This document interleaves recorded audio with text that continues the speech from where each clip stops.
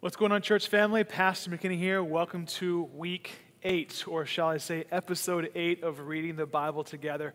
Just so you guys are aware, there's only two weeks left this week and next week, and then we will wrap up the summer season with a worship and prayer uh, online as well.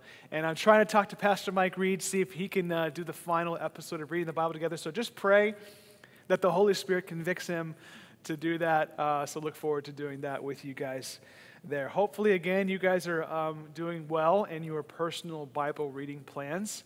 Uh, you should be coming to the end of the Gospel of Mark. And I have really come to enjoy and appreciate the Gospel of Mark. It's been a rich study for me personally, so uh, I hope it's been a blessing for you as it has been for, for me. Uh, just as a reminder, if you do want to post anything about what you're reading and your studying plan, doesn't even have to be um, something from the Gospel of Mark that you're reading. It could be any sort of thing that you're, you're personally studying on your own. If you want to post on Facebook or Twitter or Instagram, just make sure you put hashtag cab reads together uh, so that we can all see and engage with one another what we are, are doing. So let, us uh, uh, move on here. Uh, also, it's just a reminder if you do want to uh, post anything, make sure you tag uh, our Instagram. Um, device or Instagram page at Church at Bergen. Uh, and I also have an account. If you want to follow me, you can. I post some things from time to time, whether it's from my sermons or just stuff from my family or even just personal devotions that I'm reading in my own Bible reading plan uh, time. But uh, most importantly, as I always say, um, follow uh, the church because that's where you're going to hear lots of information, updates, uh, especially with COVID 19 continuing to persist. But that is okay because uh, hopefully, Lord willing, again, we, we record these a week in advance. um, and so we haven't really, we technically, we have not gathered on August 9th yet. But Lord willing, we will have um, gathered on August 9th by the time you guys are watching this video now. It kind of sounds strange saying that.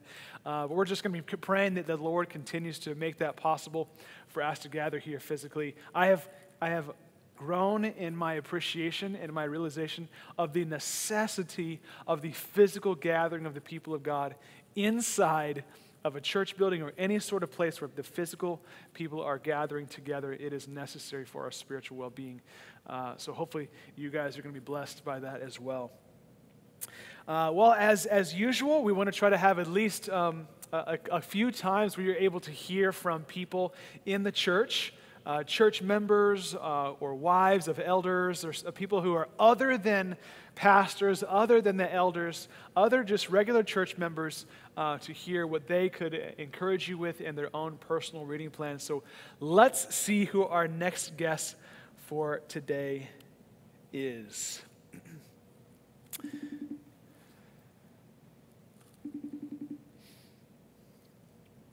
Who's it going to be? I think you can see the name on there, anyways.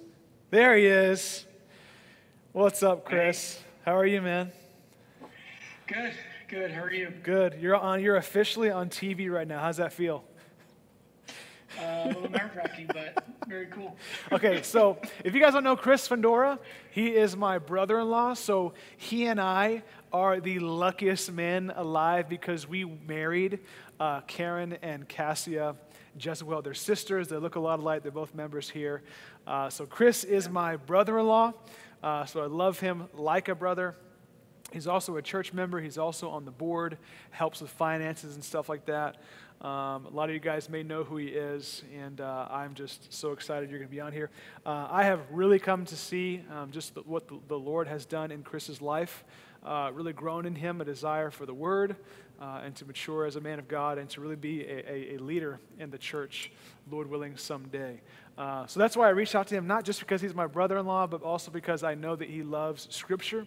I know that he actually does read his Bible, uh, and he will have some encouraging things to say. So good to see you, Chris. Thanks. Yep. Thank you. And I was just ma- I was just making fun of him, not really making fun of it, but commenting on his beautiful uh, blue wall in the back there.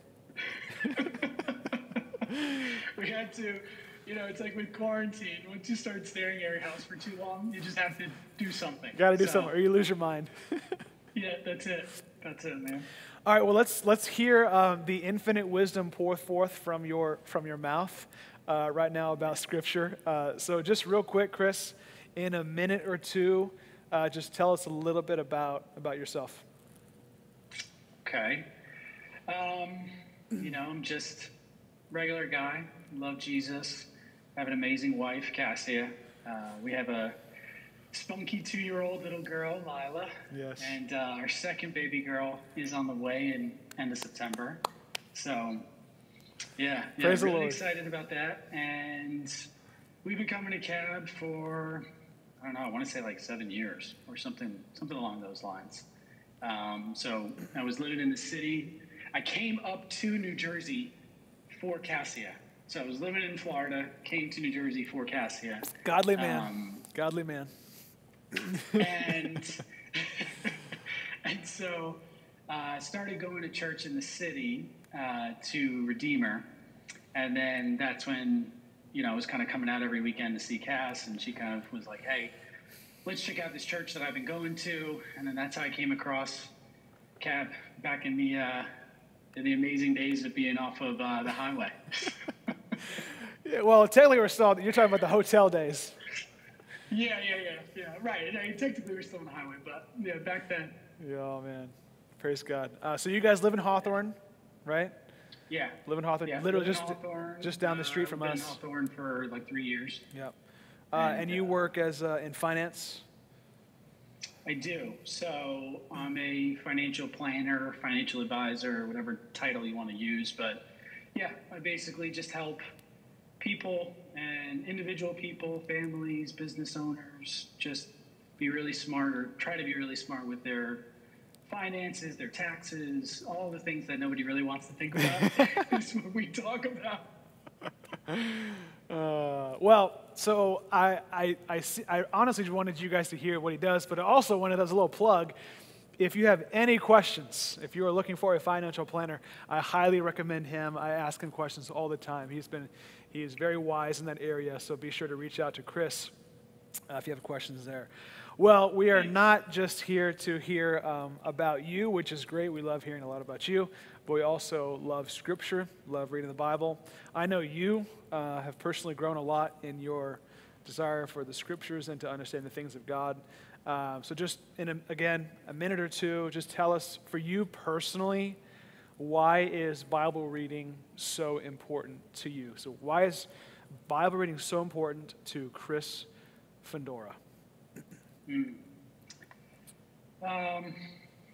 I mean, it didn't start this way, but where it is now, it's really like a, a form of sustenance for me. So, you know, some people think of like having a really good night's sleep or have a cup of coffee or whatever it is to kind of make it through their day, but I literally need to read my Bible to um, really just kind of sustain me through the day and the week and the month and the year. And that's grown over time. So I think the more that I've learned and, and just had more of a relationship with Jesus, the more I've wanted to have that relationship with Jesus. And the, and the way to really do that is through the written, written word. Um, you see that, and it just speaks to every facet of your life. And so, again, it didn't start that way. Yeah. Um, it started off as just kind of fumbling through, trying to figure out what I was reading and rereading the same verses like 30 times over. Um, and it felt like probably in the beginning, I, I guess, you know, at the start, it was kind of like, okay, this is something that we're supposed to do. So I'm going to wake up in the morning, I'm going to read my Bible, I'm going to check the box, I'm going to move on with the rest of my day. But as time has gone by and you go through, you know, the seasons of life, you uh, you mature from that, I think. And so I really have realized that I need it. I, I need it to sustain me, to grow me, to speak to the different areas that uh, that I need counsel on, which is all of them. Yeah. And um, and, and and so that's really what it, it, it's been for me. It's almost like, you know, if I have something that I'm questioning or wondering or trying to figure out what to do next, um, you know, I just turn to the Bible and I just pray, pray, pray, pray that the Lord just speaks to me, that the Holy Spirit just moves through the Word, um, and He's always been faithful to do that. Yeah, you said um, sounds a lot, a lot like uh, our first guest of this of this whole series with reading the Bible together was with Raquel Ochoa, and she basically said the same thing. She didn't say sustenance. That's a really, really smart word. Uh, so bravo to you for that. She said just food. she just said it's like her food. Uh, but yeah, so I mean, obviously it's not. You had said you need sleep, you need food, you need water, uh, but we need some spiritual sustenance to, to make us go. Right? There's like this thing inside of us called our called our souls that need to be cared for well. yeah, and it's it's amazing because then you see when a period happens and you don't read your Bible, and that happens to me, you know, all the time. Unfortunately, you go through these kind of day or week or whatever.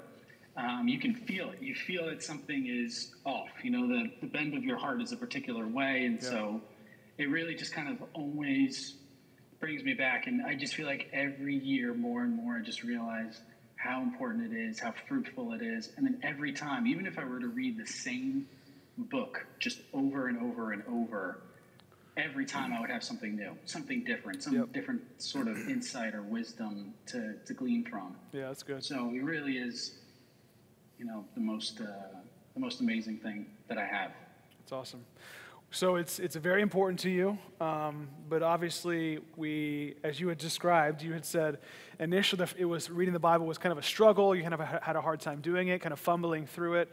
Um, so, but as you do it more, you bec- you improve and you get more fluent in how to read it and how to. Yeah.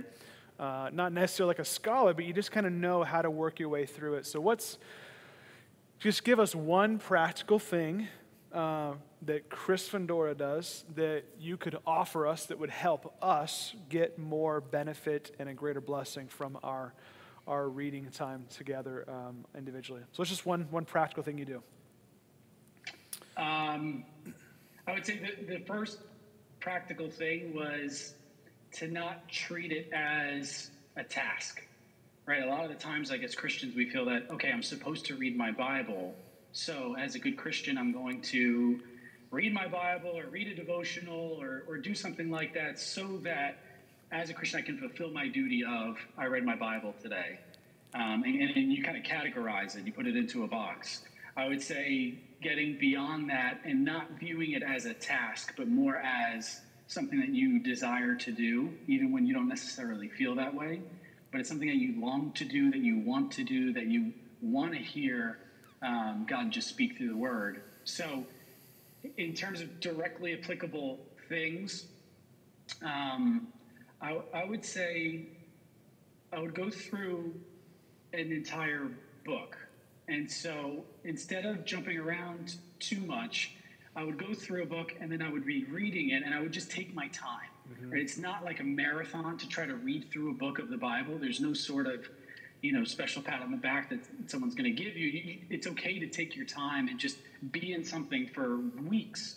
Um, there's times where I've just literally been in one passage for a month, and I just keep reading it and reading it and reading it. So I would say, you know, don't rush through it. Um, and then as you're reading something, you know, and I've learned this from you really, is looking for that context before and after, and looking you know, you, have picked up my English grammar a lot over the uh, over the years. That was my best subject in school, so I appreciate that. But um, I would say, looking at that, I think commentaries have been helpful in certain ways um, to get context and to get understanding. I think uh, there's a lot of Bibles out there that have been really helpful with kind of footnotes or relating to other passages. So sometimes I'll read something and then I see, okay, there's a footnote to somewhere in the Old Testament, and then you look at that and you read that, and you say, wow, this is this is how the Bible is fluid. Mm-hmm. This is how there's an overarching theme of Jesus Christ from Old Testament to New Testament, and I think that is probably one of the most amazing, valuable treasures of your Bible. Instead of seeing them categorically as separate, um, more as one fluid story that that really plays on one another. And I think that starts to spark some excitement and and really kind of think, wow, I didn't can't believe that this verse from something in you know Genesis is connecting to what I'm reading in right. Hebrews and. And you, and you kind of just build on that, and all of a sudden it starts to just take you and go. I would say also something that I've done that's been really good is writing. So um, I'll read, and then if I just feel anything, right, or something's coming to my mind, I'll just write. and just start writing and writing and writing and just let it flow. And then you'll realize that it kind of starts to become counsel and then a form of prayer and so many different things. So Yeah, yeah. writing has been huge for me. Um, you know, just going a couple verses at a time. Yeah. I know that's a couple things, but No. they all We'll, kind of we'll take it all, man. No, that was awesome. So we, I heard, um, don't view it as a task, which, is, which I know is a big struggle for a lot of people. Um, as hard as that is, it, c- it can feel like a task. But you even said Yeah. something that you did um, before. Sometimes you, you go into the scriptures, you will pray. Uh, I do that a lot to protect myself from viewing it as a task because there are times when I go into the scriptures and I don't really feel like engaging with it, and I have to ask the Lord to, to change my heart there. Um, you said to slow down. There's, there's, there's no rush. That is, that'll change your, your reading for sure a ton. Uh, and then, yeah, taking your time, and then writing. You said was writing. That was that was really big. And I like what you said about um, anytime you feel something, you don't always have to write. It's more when the scripture Right. like really churns up your heart. Follow that leading and spill it out on paper, and you'll be. And I love what you said about it becomes a form of counsel, and even it works itself out in, in a form of prayer at times too. So that's good. Yeah. Yeah, absolutely. Yeah, and it, it is. Everybody has those moments where you're reading something, and I mean, whatever it is, Galatians or Romans or Yeah. Ephesians, and, and you, you feel something welling up. You know, you feel that's the Spirit moving, and so getting that out and then using that as a reminder. You know, Yeah. you look back on it in those days where you don't want to read, and you just kind of feel tired or like it's not connecting. Looking back on that is really, really um, sweet and valuable. Yeah, yeah. Awesome, man. Dude, it was so good to have you on here. Thanks for having me. This yeah, is fun. yeah, it's good. Uh, it was nice. We just actually went on vacation to the Adirondacks, and so I was hanging out with him um, for a little while. It was good times. But um, Chris, thanks for joining us, man. Love you. Yeah, pleasure. Love you too, man. All right, Thank you. See you. All right, bye. Bye. Awesome. Praise the Lord. All right, well, let's uh, get into the really, really good stuff, as I always say. Um, you know, hearing from people in the church, it, that's the good stuff, but the, the really, really good stuff is actually diving into Scripture. Uh, so hopefully you guys are blessed by, by Chris. And uh, he, he's one of the, uh, the humblest, uh, meekest, and just, just grace-filled uh, man you'll ever meet.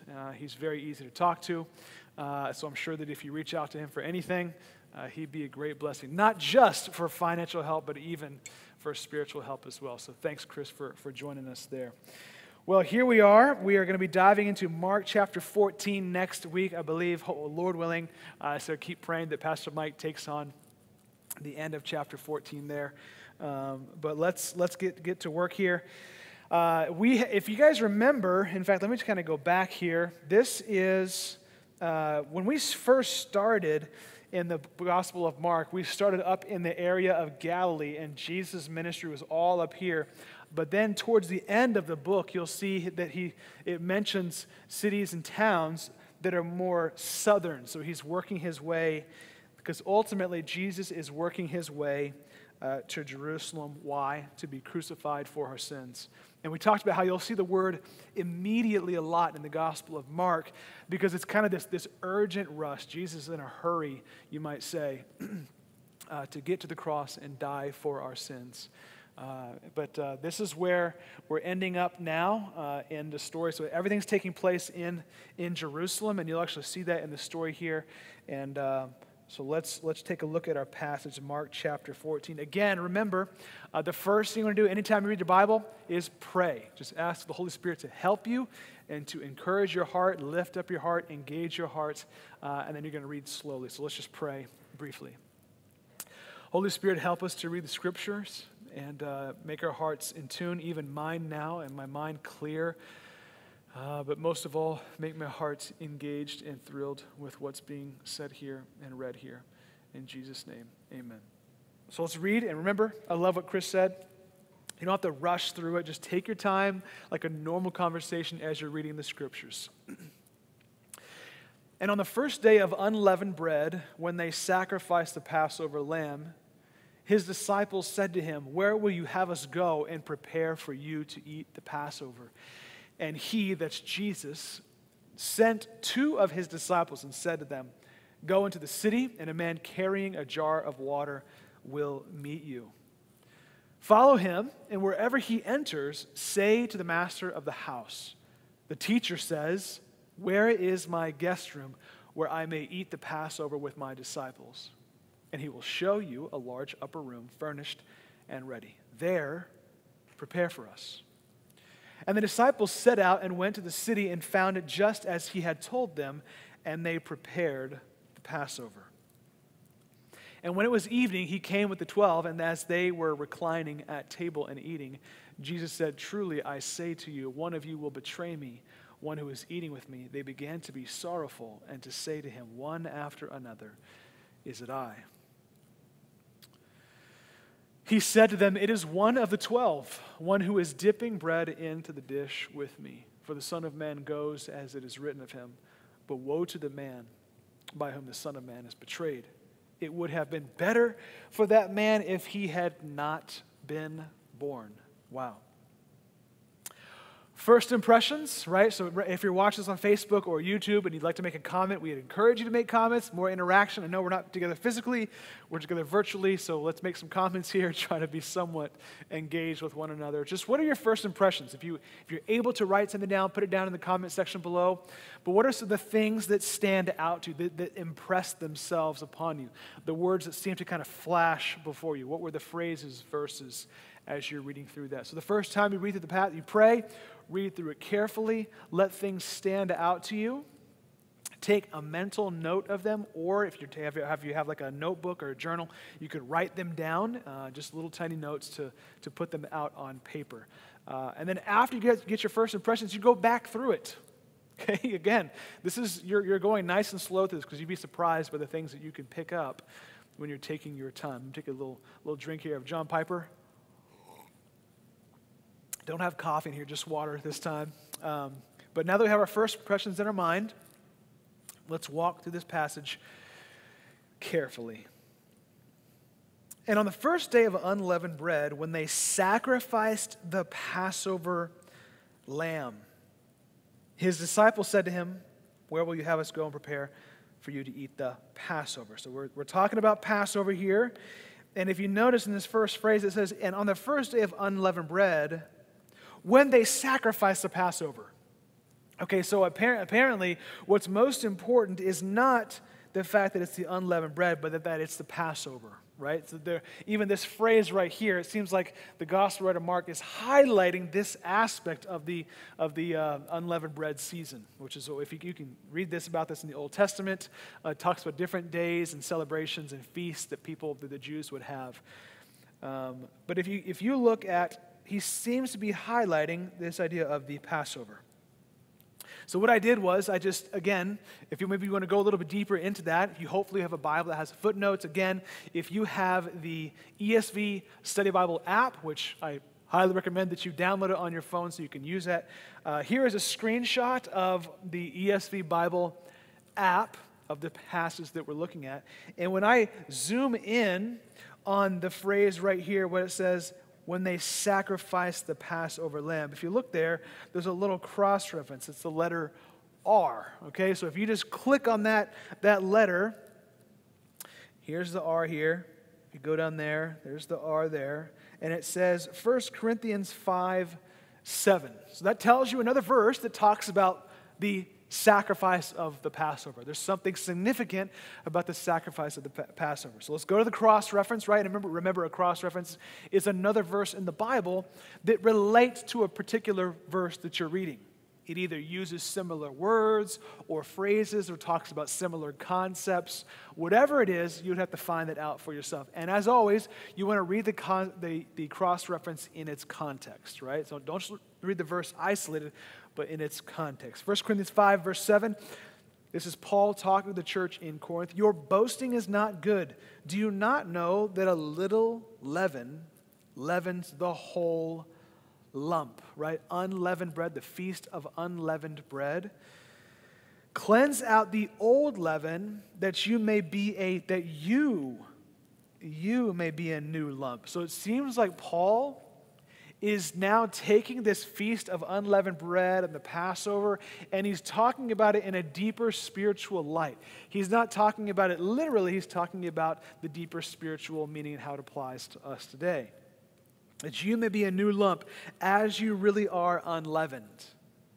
For Christ, here's the verse, our Passover lamb has been sacrificed. Christ, our Passover lamb, has been sacrificed. So you have in Mark chapter 14, you have the, the disciples talking to Jesus, and he's saying, Where shall we have celebrate the Passover to be sacrificed? And you have this feast together. And what they don't realize is, is soon they will no longer have to even have this Passover feast. They will no longer have to feast upon a literal Passover because the final Passover lamb has been sacrificed, which is Jesus Christ. Now, I, am assuming that, that most of you, if not all of you who are watching this now, are very familiar with, with the Passover, right? The Exodus. You can look at this in your ESV study Bible notes about the significance of the Passover, right? And they're in Egypt, and, and Mo, God tells Moses to have all the, the, the, the, the Hebrews slaughter a lamb, take the blood, put it on the doorpost, and the angel of death will pass over them because another lamb sacrifice has been spilled out in their place.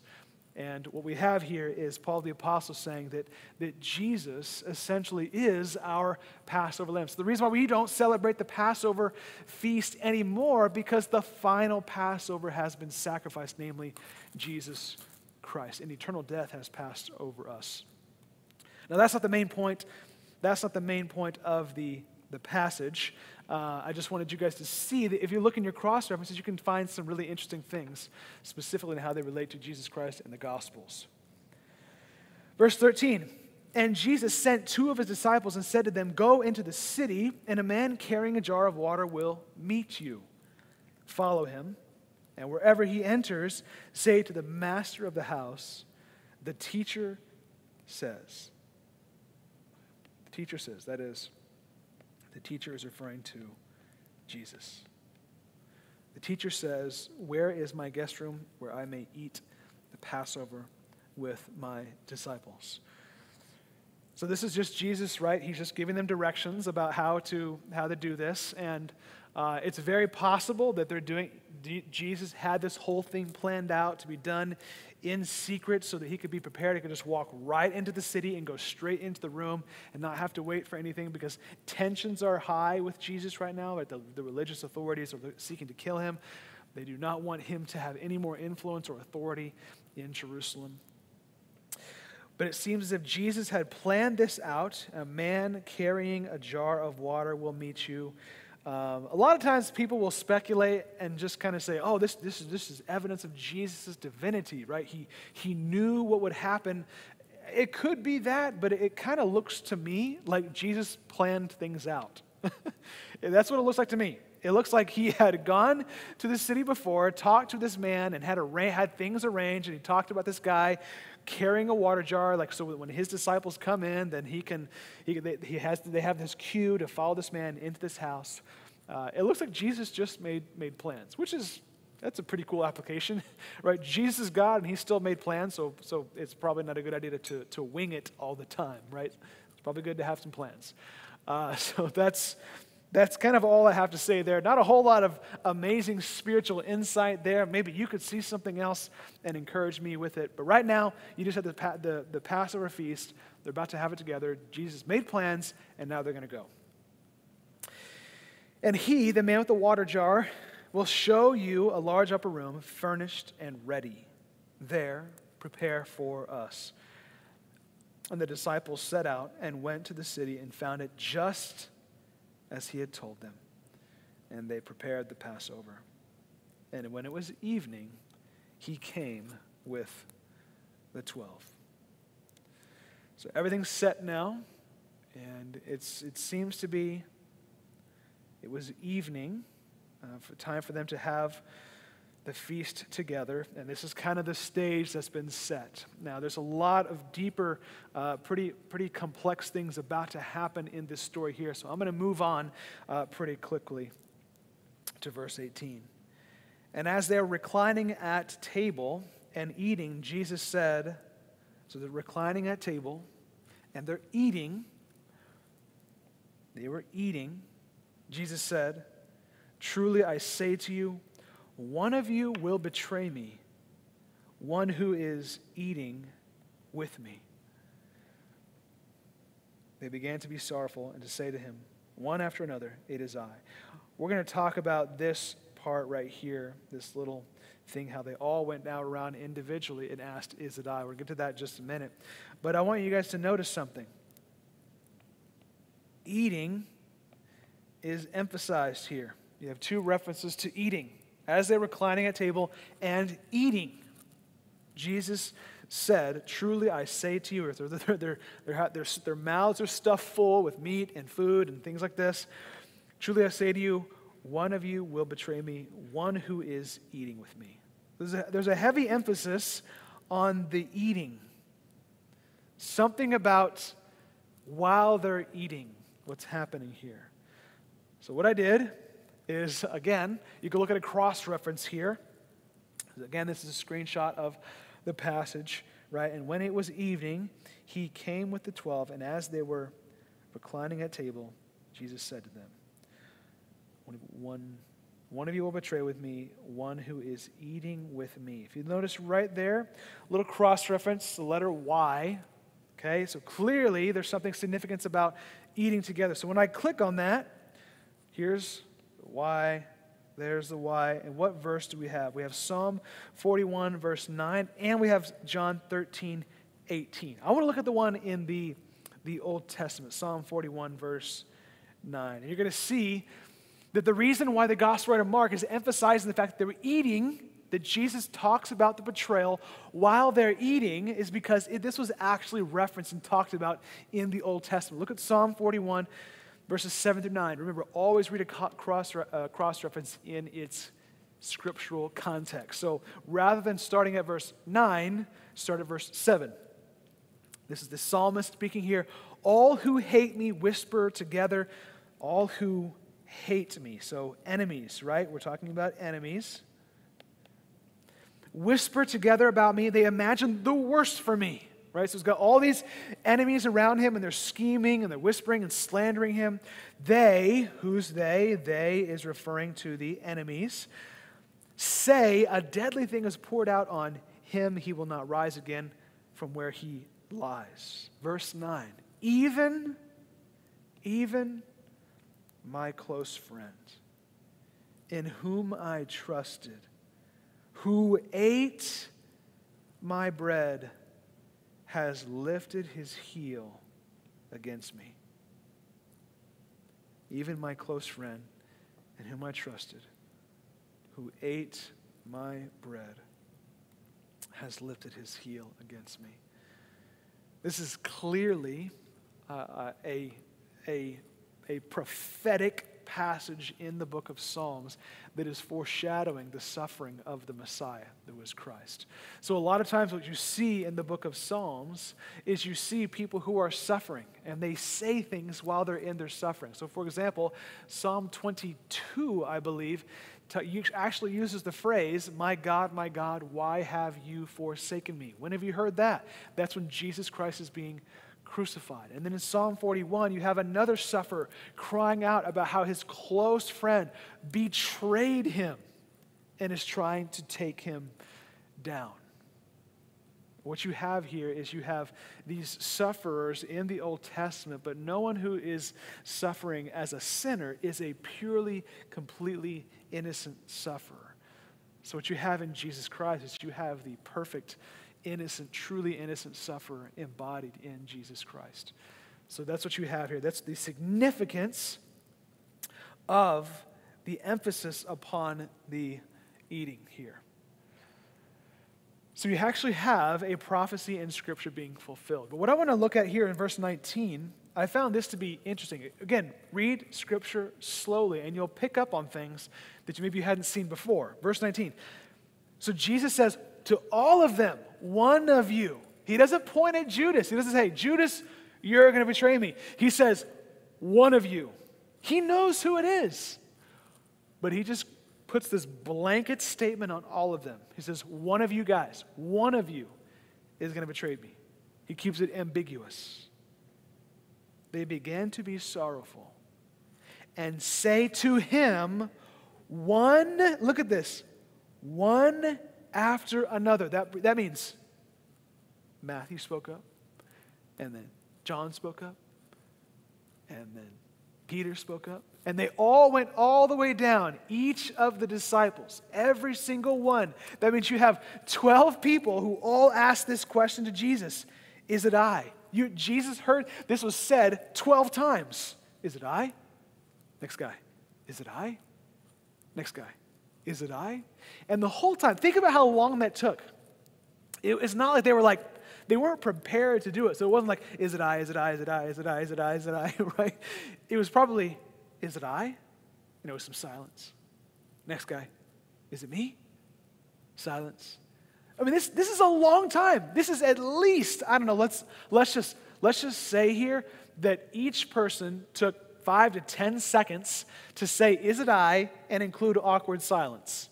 Okay, let's say 10 seconds. That's 120 seconds of all of them being crushed under the prospect that they might be the one who betrays Jesus.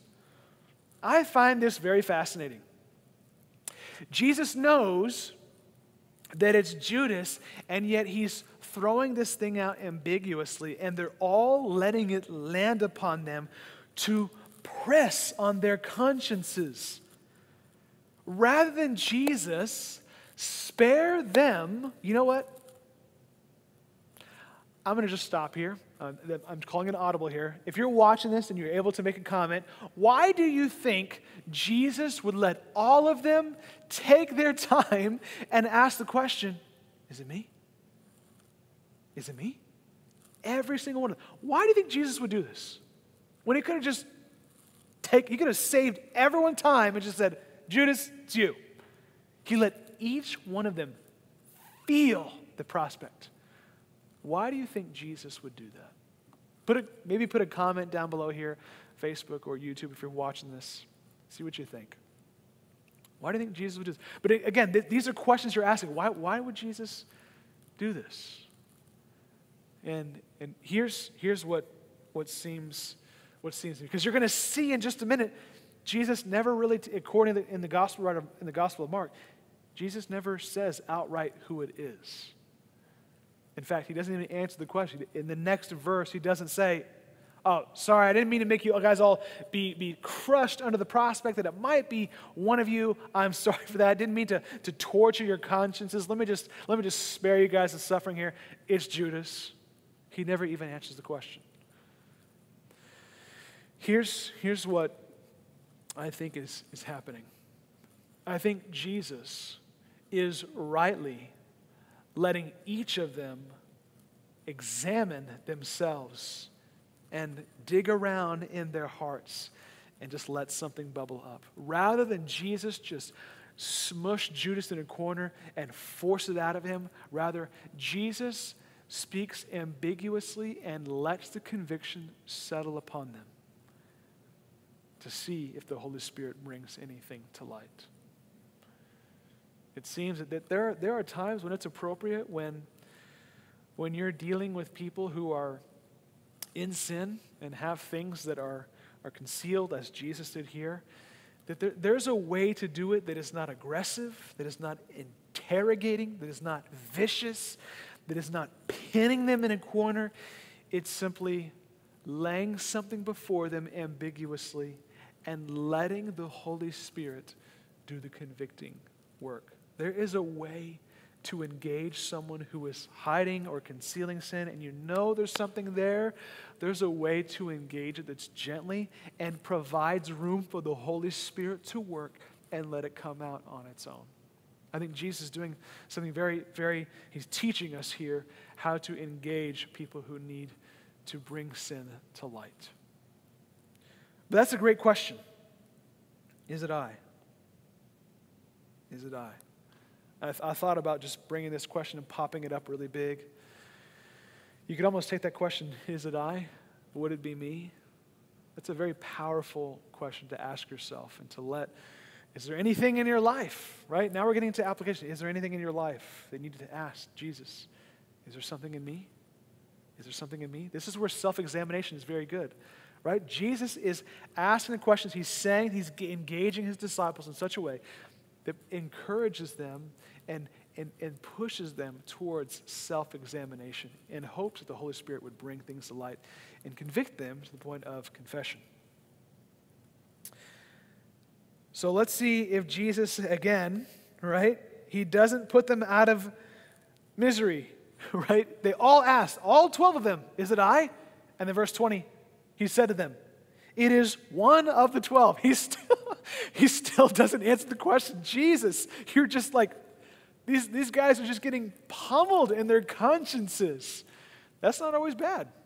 It's not always bad to let, to let, to let a guilty sinner walking in known hidden sin, to let them sit in it and let the Holy Spirit weigh upon them.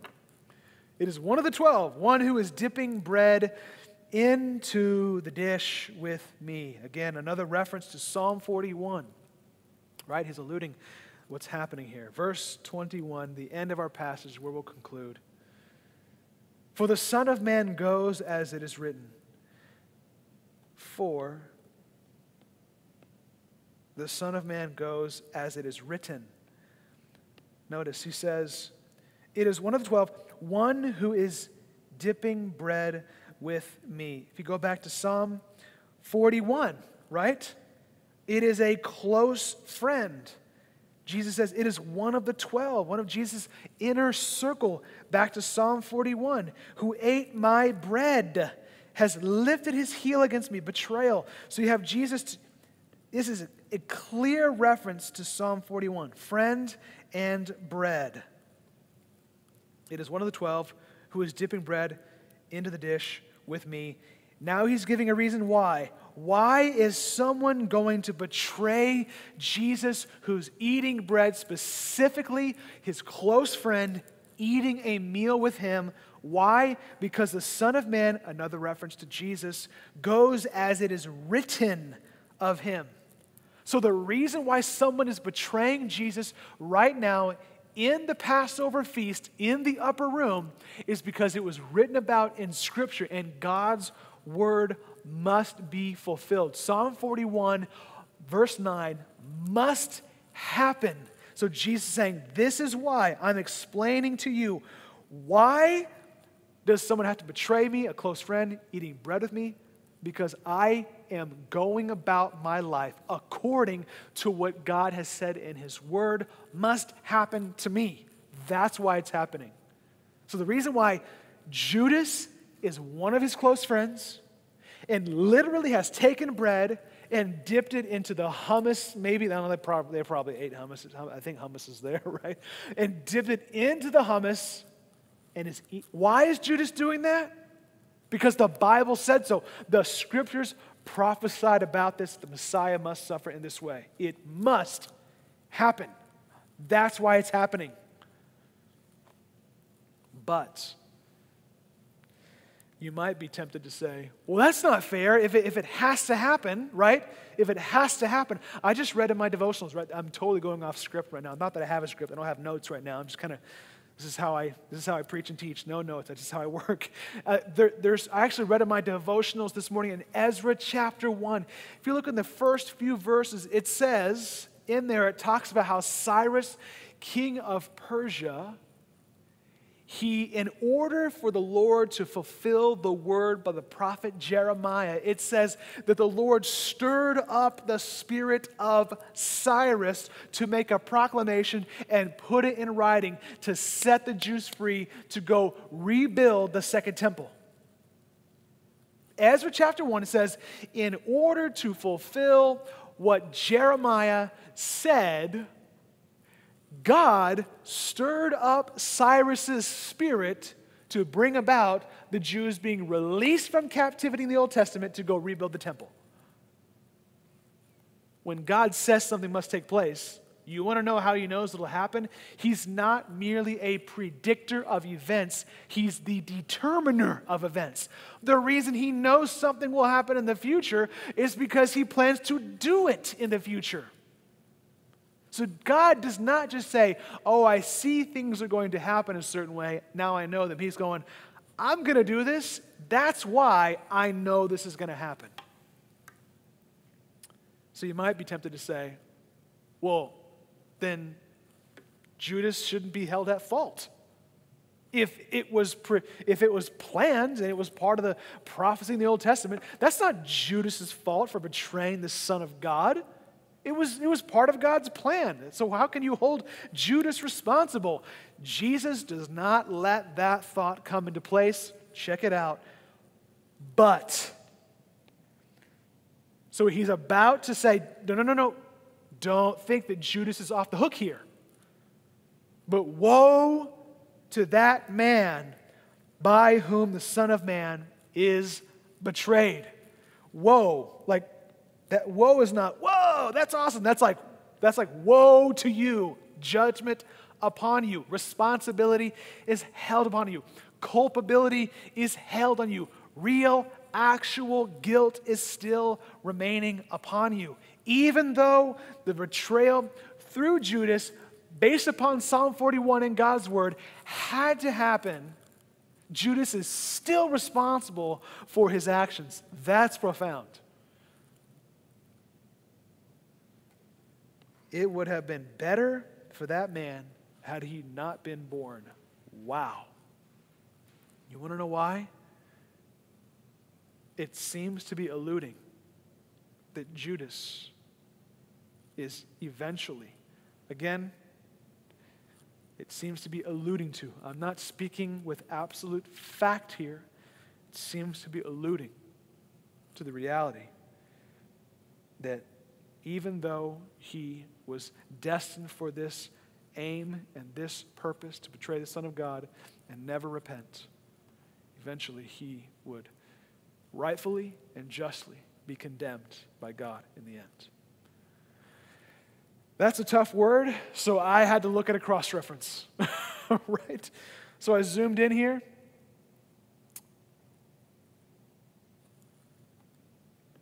Woe to that man by whom the Son of Man is betrayed cross reference C. It would have been better for that man if he had not been born. All right, let's click on the letter C. There's the C. There's the C. John 17, 12. All right, let's go to John 17, 12. Remember, while I was with him, this is Jesus praying in the He's praying the high priestly prayer in John. He's praying to his Father. Here's what he says Jesus says to his Father, While I was with them, I kept them in your name, which you have given me. I have guarded them, all of his disciples, and not one of them has been lost, except the son of destruction. That's Judas. The son of destruction. Why? That the scripture might be fulfilled. You might say, that's not fair because then Judas is just one of God's pawns to fulfill his word. How can Judas be held responsible? We've already seen in Scripture, Jesus will hold, held, holds him responsible. Woe to that man by whom the Son of Man is betrayed. So, what I'm going to do here is, uh, again, I, we only want to do in this time together what you guys can do on your own. So, what I have done, I have looked at the ESV Study Bible Notes. You can, again, you can find this on the ESV Bible app. Here's what it says about this passage Jesus confirms that the Son of Man goes as is written, but woe to that man. It was determined Judas had to do this because it was planned. But Judas is not off the hook. Despite the fact that scriptures have been predicted that Jesus would suffer a substitutionary death, Judas is responsible for his evil deed. This is one of many scriptures that simultaneously affirm God's sovereign ordering of events. God said he would do it in Psalm 41, and he did it in Judas. God determined this, he planned this, he purposed this. And, so, okay, simultaneously is the biggest word here. Simultaneously affirm God is completely sovereign over events and human responsibility for those events. God controls the events, governs the events, providentially sees to that events take place, and yet even though He's sovereign and total control over our individual choices, we are completely responsible for our actions. How does that work, you might ask? Friends, I don't know. And you will not find a theologian who can answer it perfectly for you. You will find others who may try to find a way out of something like this and say, well, God knew that Judas would probably betray him, but he didn't know that he actually would. So you're telling me that it was possible for God's word not to be fulfilled? That doesn't make any sense. God's word must be fulfilled. In fact, Jesus based everything that was happening in the upper room upon what he had said. God's word must be fulfilled. The highest aim, one of God's highest aims, is upholding the integrity and the glory and, and the purity of his word. I actually wrote that in my, in my margins this morning, in my wide margin, large print ESV Bible. You should go buy it, it's amazing. One of God's highest priorities is upholding the integrity of his word. And if he says he's going to do something and someone is predestined to be a part of that plan, well, then God, they're not responsible for their actions. They absolutely are. Jesus just, Jesus perfectly balanced the difficulty of this issue. The Son of Man goes as it is written, as it is written. But woe to that man it had to happen, but woe to that man. God planned this, but they are still responsible. How does that work?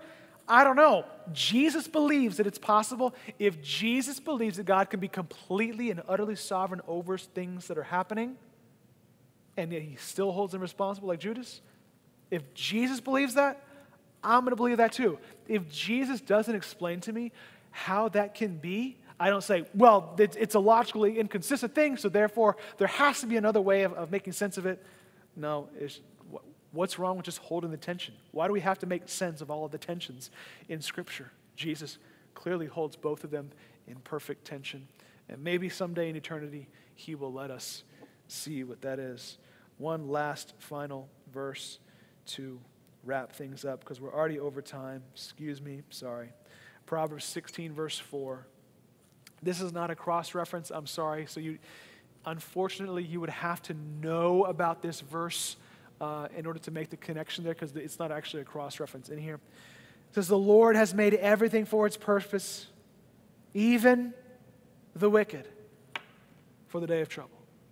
The Lord has made everything for its purpose. I even split up this thing in its, in its chunks. The Lord has made everything for its purpose, even the wicked. So the wicked is included in this everything. What's the specific purpose? For the day of trouble, the day of destruction. This is profound. And you know what I find amazing about Jesus? This is where we're going to end, right? I was going to look at Romans 9, but we don't have time. What specific aspect of Jesus are you grateful for in this passage? Maybe you should write that down right now. What are you grateful for in this passage? I'll tell you what I'm grateful for, and I really mean this. Jesus knows what's going to happen to him, and it's awful. He knows he's going to be betrayed, and yet he willingly submits himself to his Father's plan in humility and patience and meekness under his Father's hand, trusting him the whole time. He doesn't like how things are playing out, and yet Jesus walks tenderly through God's plan. What do you love about Jesus in this passage, right? That's how you end. End with a beautiful nugget of Scripture. I have gone way over time. I'm sorry. I got really into it. Um, hopefully, you guys are blessed and look forward to uh, reading the Bible together next week for our last and final season. Make sure you send Pastor Mike Reed uh, a text or an email. Let him uh, encourage him to, to, to, to end it and close it out for us. That's all the time I have for you. Love you guys.